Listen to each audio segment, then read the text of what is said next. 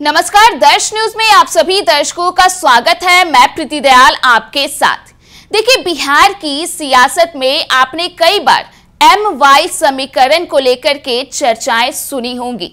जी हाँ, बता दें कि कई बार एम वाई समीकरण को लेकर के विवाद भी हुए हैं। कई पार्टियों को कहा जाता है कि एम वाई समीकरण यानी कि मुस्लिम और यादवों की पार्टी है। यहाँ तक की बात करें, नेता प्रतिपक्ष तेजस्वी यादव की तो लोकसभा चुनाव के दौरान उन्होंने साफ़ तौर पे कहा था कि उनकी पार्टी, यानी कि आरजेडी, माई, यानी कि एम वाई के साथ साथ बाप की भी पार्टी है।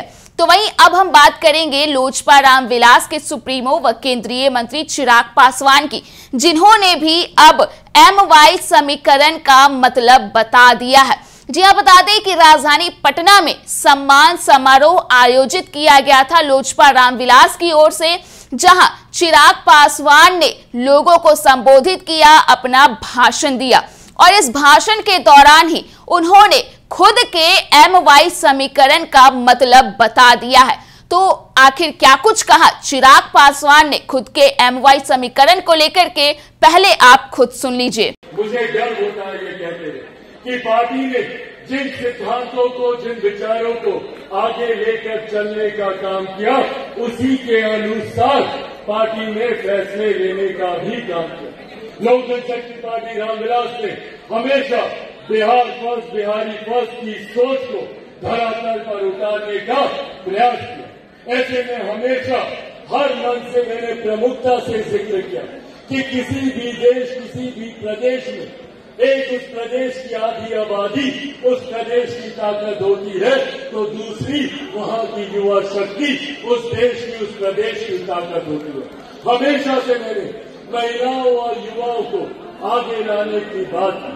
आज मुझे खुशी है इस बात की कि न सिर्फ़ लोक जनशक्ति पार्टी रामविलास ने युवाओं को, महिलाओं को आगे लाने की बात की, बल्कि जब हम लोगों ने टिकट का वितरण किया जब हम लोगों ने प्रत्याशियों का चयन किया तो उसमें भी न सिर्फ़ बिहार प्रदेश ने बल्कि पूरे देश ने देखा कि ये पार्टी सिर्फ़ महिलाओं और युवाओं की बात ही नहीं करती, बल्कि महिलाओं और युवाओं को उचित प्रतिनिधित्व भी देने का काम करती है।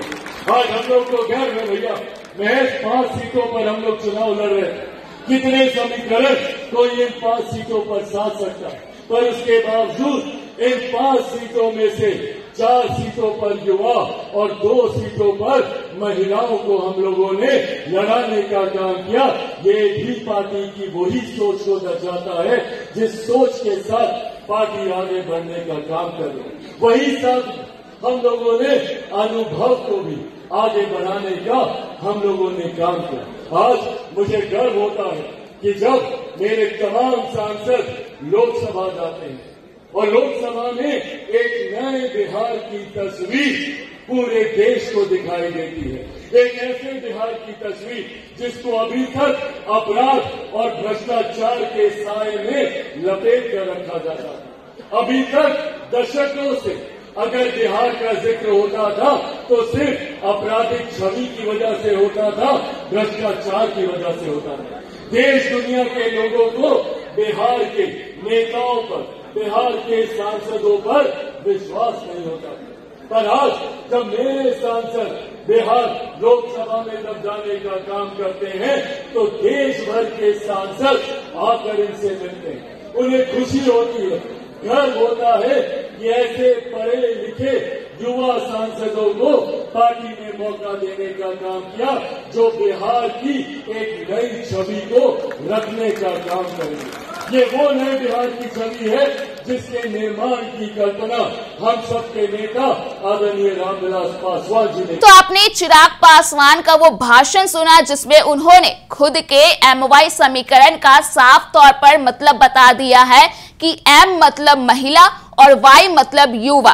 साफ़ तौर पर चिराग पासवान ये कहते हुए नज़र आए कि लोकसभा चुनाव में उन्हें पाँच सीटें मिली, जिनमें से तीन सीटों पर अगर युवाओं ने जीत मार ली है तो वहीं दो सीटों पर महिलाओं को मौका दिया और उन्हें भी जीत मिली है।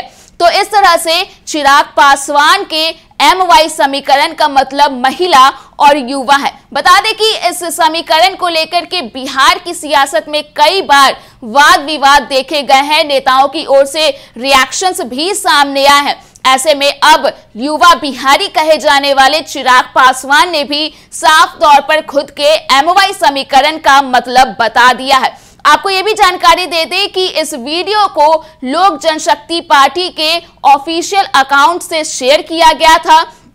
इसके साथ ही इस पोस्ट को चिराग पासवान ने भी अपने सोशल मीडिया अकाउंट एक्स के ज़रिए रिपोस्ट किया था, जिसमें साफ़ तौर पर बताया गया कि यह है चिराग पासवान का एम वाई समीकरण एम मतलब महिला वाई मतलब युवा। तो फ़िलहाल के लिए इस खबर में इतना ही। अगर आपने अभी तक हमारे YouTube चैनल को सब्सक्राइब नहीं किया है तो इसे जल्द सब्सक्राइब कर दें। इसके साथ ही अगर ये वीडियो फेसबुक के माध्यम से देख रहे तो पेज को लाइक करना ना भूलें।